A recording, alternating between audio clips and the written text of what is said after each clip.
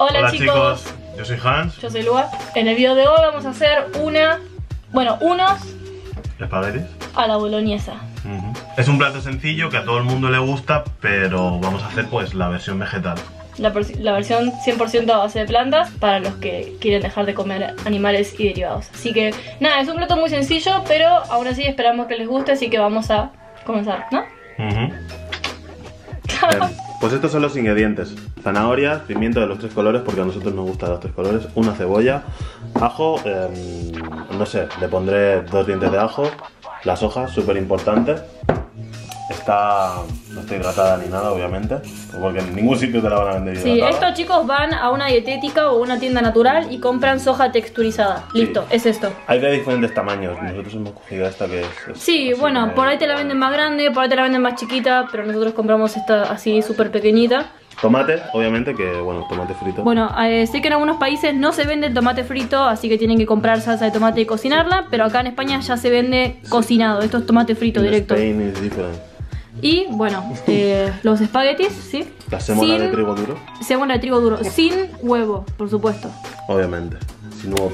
Chicos, el primer paso es poner en remojo la soja texturizada, así que a esto le van a agregar agua caliente. Agua calentita durante. mm, 30 minutos. Por ahí, 20 minutos, 30 minutos. No pasa nada si lo dejas un poquito más de tiempo.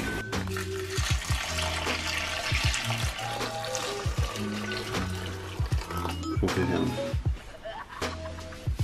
Y así lo dejan en reposo unos 20-30 minutos. Sí. Pues hay que ir rayando las zanahorias. Nosotros chicos tenemos el peor rallador del mundo, pero bueno, eh, no importa. Con cualquier cosa que les sirva para rallar la zanahoria. A nosotros porque nos gusta así rallada, en la boloñesa. Ujú. Ahora chicos, vamos a cortar el pimiento como más les guste. Nosotros lo cortamos así, chiquitito. O sea, primero en tiras y después de tiras. costado Sí, más. nuevamente. Eh, pero eso es a gusto. Hay gente que le gusta más largo, hay gente que le gusta así chi- chiquitito. A nosotros nos gusta Como les guste. más chiquitito. ¿Te gusta? Justo Así. así.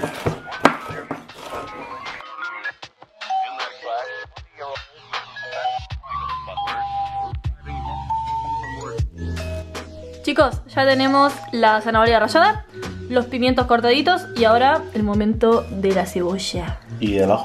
y el ajo.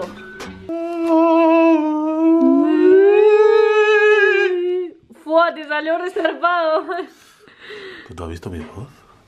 Pues nada, finito chicos, esto ya es a gusto. Hay veces que me gusta tirarla así directamente y que se queden los trozos largos.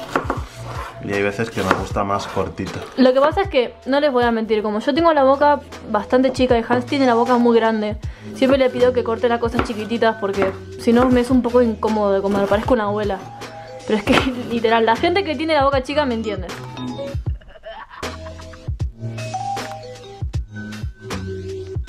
Chicos, ahora hay que poner el aceite. Nosotros utilizamos aceite de oliva, pero porque en España es... El mejor. Bueno, claro, que es un país de olivos. Sí. Entonces casi siempre se utiliza aceite de oliva. Lo suyo es echarle aceite hasta que se haga una capa finita. Yo lo he hecho a ojo más o menos, pero serán dos o tres cucharadas.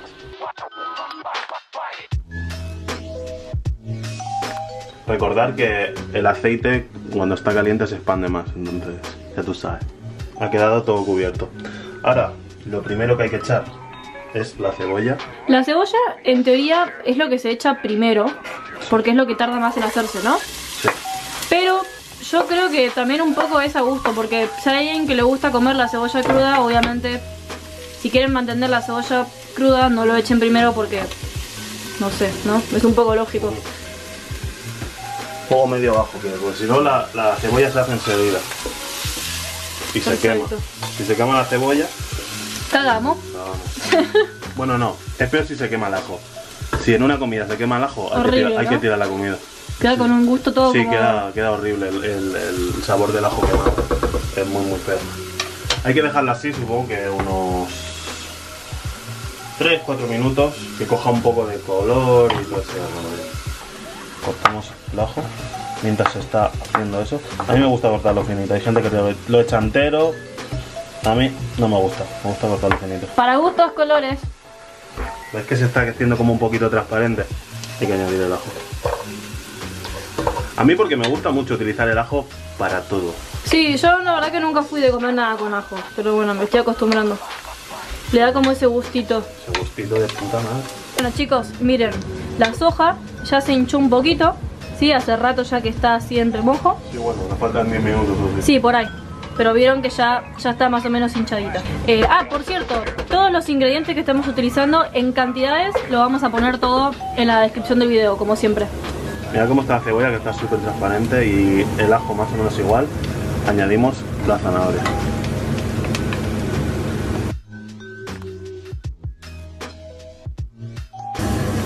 Hay que añadir que a nosotros siempre nos gusta hacer de más. Entonces, si sobra lo guardamos en la nevera porque nos lo comemos por la noche. Claro. Como somos dos, siempre uno de los dos va a comer así. Chicos, pasaron 3 minutos desde que añadimos las zanahorias, ¿no? Sí, 3-4 minutos. 3-4 minutos. Y agregamos recién recién eh, lo resto, el resto, ¿sí? Que son los pimientos. Eh, me tiró justo error la cámara, así que no se grabó, pero es simplemente agregar los pimientos, ¿vale? Y en simultáneo nosotros estamos ya eh, calentando el agua para los fideos. Vale, han pasado ya los 25 minutos, entonces hay que lavarlo. Porque ves que tiene como un almidón. Entonces hay que, bueno, obviamente quitarle el agua en el escurridor y luego escurrir las hojas. Tiene así como... un- que parece carne picada, ¿verdad? Sí, parece mucho carne picada, muchísimo. Vale, Con agua tibia. Hay que ir dándole.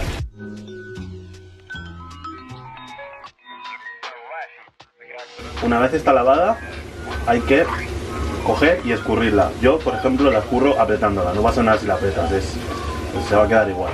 Le cojo contra y aprieto. Y ves que va saliendo, ¿ves? Sí, cae toda la agüita. Cae la agüita, para que quede lo más seca posible.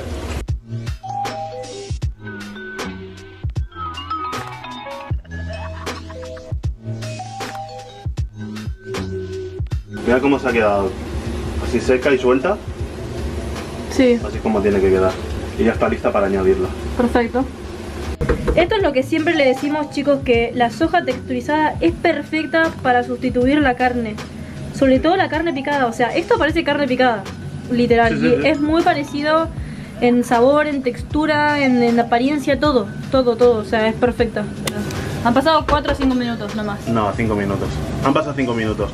El pimiento, bueno, ya se está haciendo un poquito. Pero ahora se va a terminar de hacer porque le vamos a añadir ya la soja.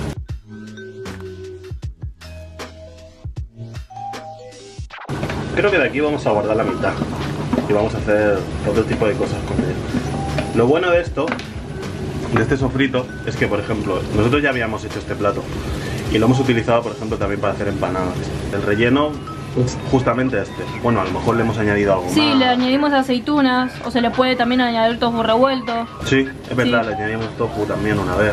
Y queda como si fuera huevo. Sí, no, delicioso, delicioso, delicioso. Pero bueno, este mismo... mm, ¿Cómo es que le dijiste? Sofrito. Este mismo sofrito lo pueden utilizar para otras cosas. Pueden guardar la mitad si quieren o si quieren pueden utilizarlo todo. Vale, ahora hay que salpimentar al gusto porque no le hemos echado nada, ni sal, ni pimienta, ni nada. Entonces yo le voy a poner pimienta y sal, obviamente. Vamos a poner un poquito de pimienta. Esto es al gusto. Sal. Recuerden que mm, la soja le cuesta coger bastante el sabor, entonces a lo mejor tenéis que echarle un poquito más de, Más de lo normal lo que le echarían. de sal, sí. Bueno, ¿probamos? ¿Yo? Sí. Te vas a quemar. No, no.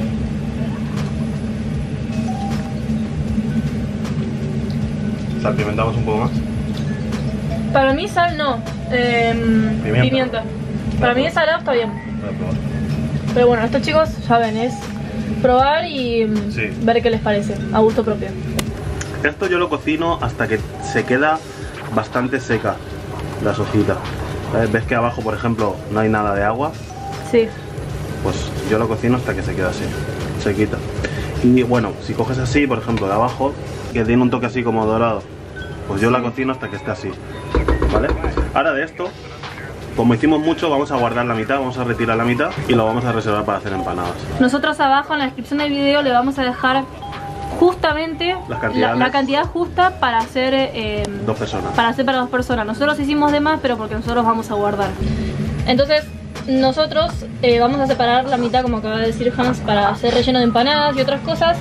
Eh, así que si ustedes quieren también guardar la mitad, o sea, hacerle más para sacar la mitad del relleno para otra comida, simplemente tienen que usar medio pimiento de cada color, una cebolla y así, todo lo que hacemos en el video. Y si quieren, eh, si quieren sí, sacar solo para, para la boloñesa y para los fideos, eh, le vamos a dejar abajo la cantidad que es la mitad para que puedan solamente Vale. hacer para fideos. No hemos dicho cuánta cantidad hemos, hemos puesto de, de soja texturizada. Son 130 gramos lo que hemos cocinado. En total, Sí, que nos sobre. Chicos, los Vale. espaguetis al agua. sí. Fácil. Nosotros los partimos porque somos anti-italianos. Esa. Con técnica y todo, loco. Ya hemos separado la mitad. Vamos a ir añadiendo el tomate. Eh, esto es al gusto también, obviamente. Hay gente que le gusta más tomate y gente que Y le gusta acuérdense que nosotros ya tenemos el tomate frito. Este tomate que nosotros echamos ya está cocinado. Si no, chicos, bueno, los que compran tuco, salsa de tomate normal, simplemente lo ponen en una ollita y lo calientan un poquito. Lo cocinan.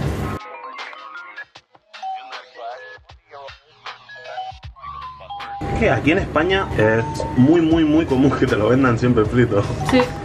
Por lo menos allí en Argentina, por lo que me ha dicho Lua, no. Aquí No, sí, no, no vi nunca tomate frito en Buenos Aires. Por lo menos en Buenos Aires no vi. En algún sitio tienen que venderse. claro, compras tuco y tenés que cocinártelo un poquito. Es que aquí yo creo que te vale lo mismo frito que, que natural. Claro. A mí Qué me- rico, a mí- mi amor. A mí me gusta así ya. Sí, a mí también. Para mí está perfecto, sí. Esta es- este es el último paso para añadirle sal si quieres, cuando le echas el tomate.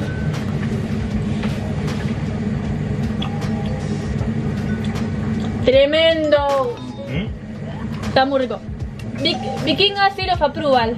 Está salado, pero cuando lo mezcle con los fideos no le voy a agregar sal, así que va a perder un poco el gusto, así que para mí está perfecto.